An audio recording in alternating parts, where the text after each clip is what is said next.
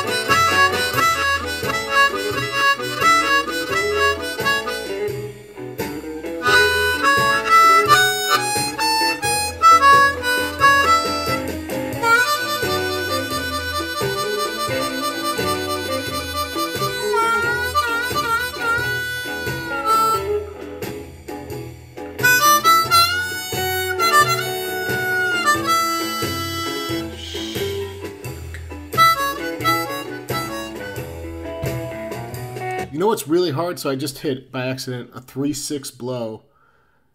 Uh, the challenge is so I was supposed to stay four through seven. So you have to deny instincts like uh, playing octaves in that circumstance. It's really challenging, actually. But hopefully you'll see, you see that there's so many ideas contained on four through seven, and there's so much you could be doing. So go get it, work on it, keep isolating these holes. You know, just pick. You know what? I'm going to end with two holes, holes two and three, just to sh- share one more example of a cool area to isolate.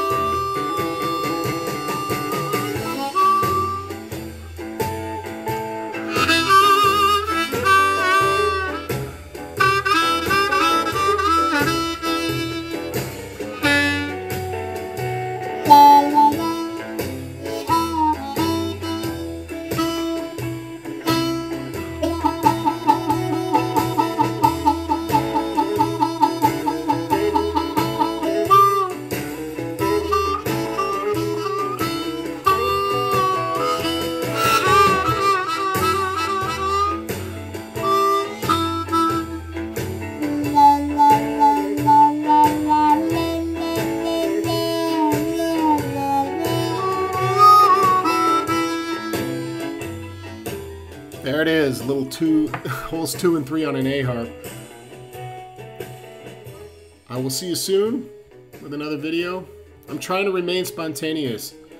I want to be spontaneous with a lot of these clips. You know, I, I'm I'm learning, still learning about myself as a teacher, as a player, but I do better when I keep things spontaneous so I can react organically to what's happening. Today was one of those clips. I'll see you soon.